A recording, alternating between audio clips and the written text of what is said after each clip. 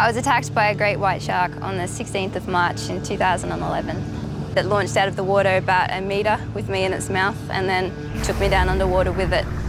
Then it had its lower jaw around the right side of my face here and it had its upper jaw on the outside of my arm here.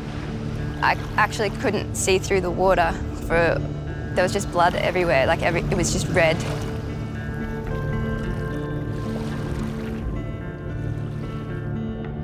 As I started looking into sharks and finding out more about them, that's when I started finding out what a bad situation they're in.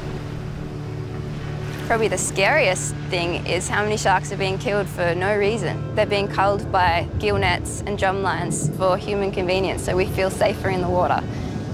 Sharks are an apex predator. Without them, the larger fish underneath them will go crazy and then they'll eat all of the smaller fish. And if we lose the populations of the smaller fish, we'll lose those oceans that we love. My motivation for continuing to try to push that message out there is to help with all of these studies, to help get the funding to the scientists.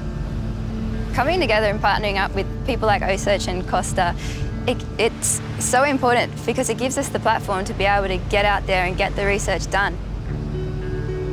If I could tell the world one thing, when you go into the ocean snorkeling, it's another world. It's a connection to something bigger than you. It's sometimes the only place you can breathe.